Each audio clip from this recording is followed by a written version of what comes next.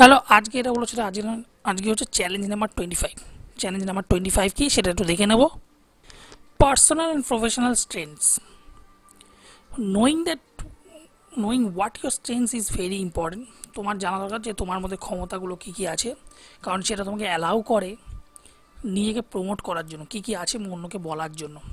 সেটা তোমার ভালো একটা চাকরি পাওয়ার জন্য, ভালো একটা তোমার কাজের দক্ষতার জন্য, তোমার একটা নতুন প্রজেক্টের লিড করার জন্য বা আদার্সদের বলার জন্য তুমি কী কী পারো না পারো।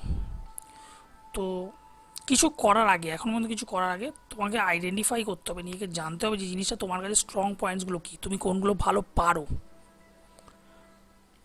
এবং এমন কিছু হলো যেটা তোমার চিন্তাধারা না, সত্যি সত্যি সেই জিনিসটা বাড়বে। তো নিচে আমি একখানা সোয়াট অ্যানালিসিস একখানা বানিয়েছি জাস্ট একটা নিজের প্রফেশনাল পার্সোনাল লেভেলের জন্য, যে কোন জিনিসগুলো আমরা পারি এবং তার তার ফলে কী কী অপরচুনিটিস তৈরি হতে পারে। প্রথমে পার্সোনাল চেঞ্জ হচ্ছে পাঞ্চুয়ালিটি লোকেরা সেটা পছন্দ করে, কারণ তুমি সব কিছু সব অন টাইমে চলে আসো এবং সেটার জন্য তারা অ্যাপ্রিসিয়েটও করে। আর এমপ্যাথি এমপ্যাথি জিনিসটা হচ্ছে তোমার বন্ধুরা সবাই তোমার এই এমপ্যাথির জন্য এবং ভালোবাসার জন্য সবাই তোমার সাথে কথা বলতে এবং তাদের তুমি, তাদের চাহিদাগুলো পূরণ করো।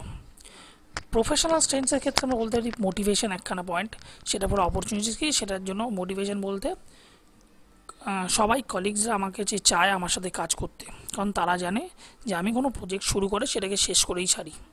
লিডারশিপ স্কিলস একটা হতে পারে যে কলিগরা চায় যে তাদের যেন লিড করতে বা ম্যানেজ করতে। কারণ ম্যানেজেরিয়াল ব্যাপারটা বা লোককে লিড করে ম্যানেজ করে নিয়ে যাওয়া, যাওয়াটা সেটা আমি ভালো পারি। এটা একটা উদাহরণ দিলাম।